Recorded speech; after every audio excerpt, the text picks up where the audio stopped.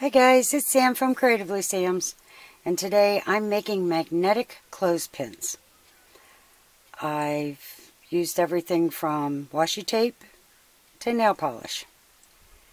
They're really easy to make. You can use them to put things on your refrigerator or you don't have to make them magnetic.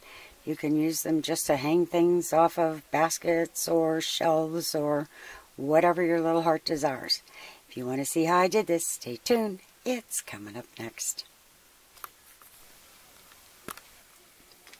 Okay, what you need is some regular everyday clothespins. They are cheapest at Walmart, but the Dollar Tree does have them. Um, you need some acrylic paint. You need, oh, maybe some washi tape. Maybe a little nail polish, my favorite. You also need magnets. Um, or you don't. These are magnetic business cards that I've had for years. You need some hot glue, hot glue sticks, and maybe some little buttons or some little charms. Whatever your heart desires. These are for you. These are for your refrigerator. So make them to go with either a theme that you're working with, a color, or something that the kids like. Okay, the first thing I did was I painted them all white. And you know me, it's paint it white and get the true colors out. Um, I think the first thing I'm going to do is try a little nail polish. This is my favorite, Sally Hansen Extreme. I love this stuff. I've got way too many colors. But this um, purple one is my favorite. And I'm just going to paint one or two coats.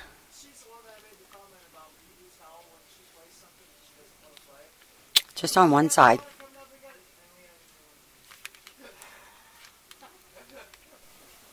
Okay, I ended up putting two coats of the Sally Hansen 554 Stargazer Lily on it. And it covered it pretty well. But you guys know me. So I got out my Pure Ice. And this is called Cheatin'. And it's super glittery. So I'm just going to put a coat of this on. One of them.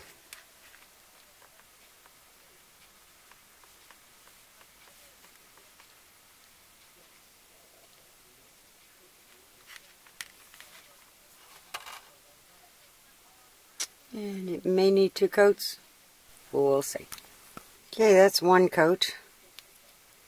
But we know me. I'm going to put another coat on.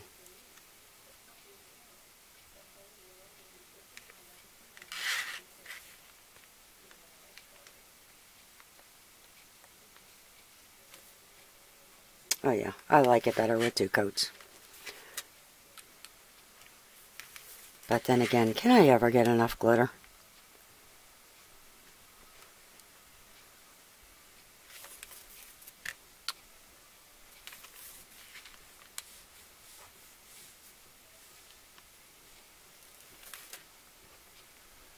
Okay, I'll let that dry.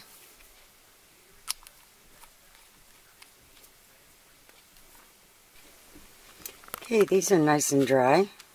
And I think the glitter on that one is more than enough. This one's really plain. So I'm going to put one of my Tim Holtz heirloom roses on it. I'm just going to add a little bit of hot glue to the bottom. And I'm going to put it right above that wire so it doesn't interfere when you open it. And that's one set done.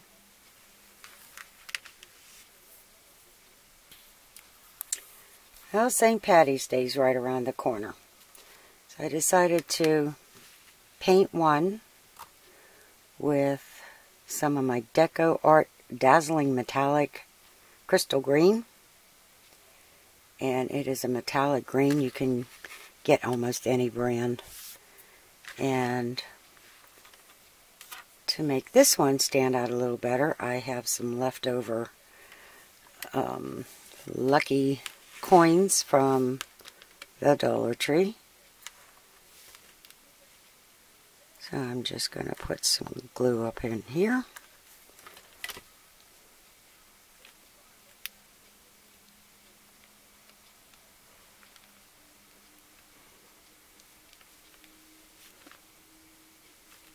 And there's another one done.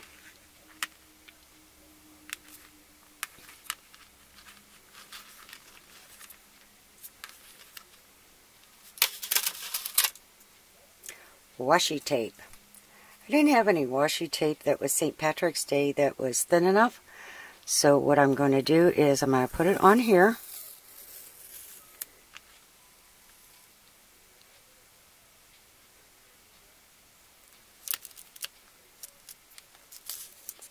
I'm going to try to put it on here. In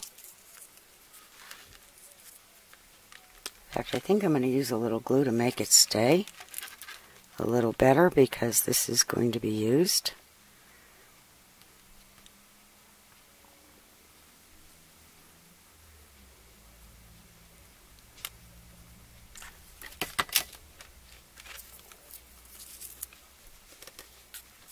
And I'm going to lay this down so that I make sure that the end is straight.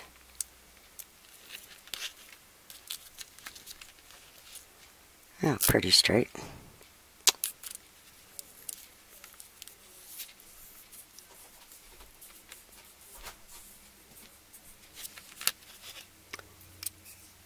And I've got a an X-Acto knife.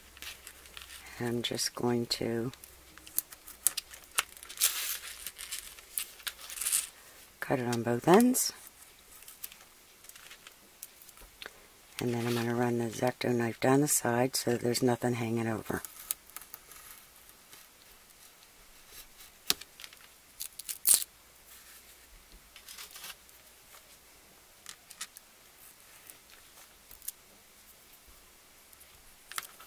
And I'm going to cut that right here so that it can be used without bending. And that would be cute enough as it is. But I have a um, scatter from the Dollar Tree that was left over.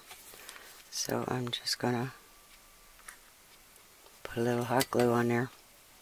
And now we can put up St. Patrick's Day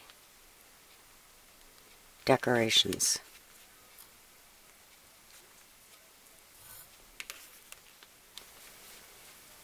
This washi tape seems to be sticking a lot better than the shamrock. So I'm just going to press that on. And I'm going to cut this low enough to go down and wrap around.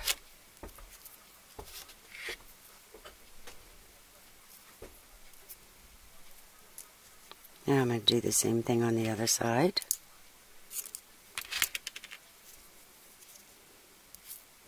I just think this is bright enough that the kids would really like it without having to add anything else on it. It's amazing how different they look just by changing up the washi tape. And this one, I decided I wanted to add a little angel. This is an angel charm. And all I'm going to do is clip that little loop off the end.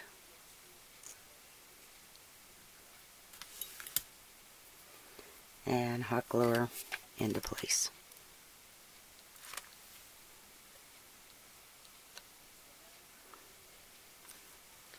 And I'm definitely not putting the hot glue in the angel before I put it on here because it is metal and it's going to be hot as heck.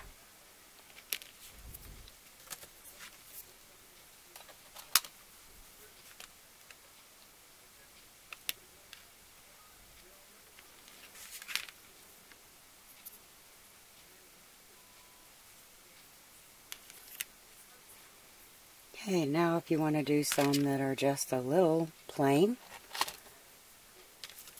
you could just use different color paints. But I'm going to play with some stickers and some, I don't even know what you call these. And the stickers, everybody knows how much I love bears, no matter what kind of bear it is.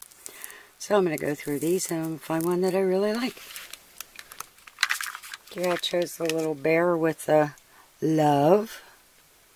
And I'm just going to stick that on there.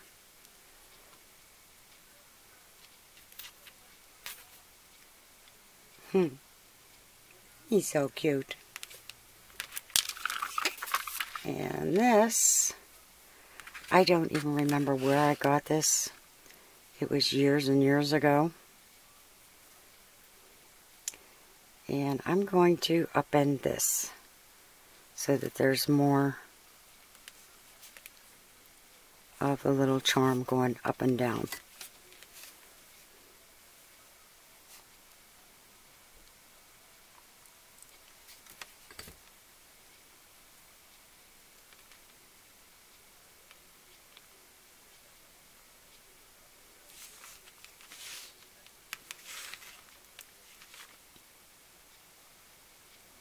Okay, now we're going to put magnets on. You can get magnets almost anywhere. You can get the little squares. You can get the little um, on the roll. This is just what I had on hand. But all I did was figure out how wide I needed it and then cut it a little bit shorter. And then I'm just going to take off the tape, maybe. And if it doesn't, if the magnets that you get don't have adhesive on the back, you can certainly use the hot glue.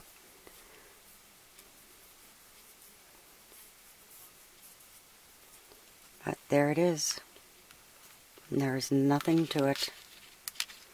Now, you don't have to add a magnet to this. You can just use this to gather papers, use it as a chip clip. I use clothespins for um, gathering different types of papers together when I'm working on a project. And especially when I'm doing a ton of brain dumping, I'll put them together with the clothespins and then go through them but this is definitely going to be on the refrigerator since Connor is now writing. Well, he's trying to write. And there they are. He's holding Connor's little drawings. And there's more to decorate the refrigerator and stove and whatever he chooses to play with. So if you like what you saw, give it a thumbs up, subscribe, and Happy creating, everyone.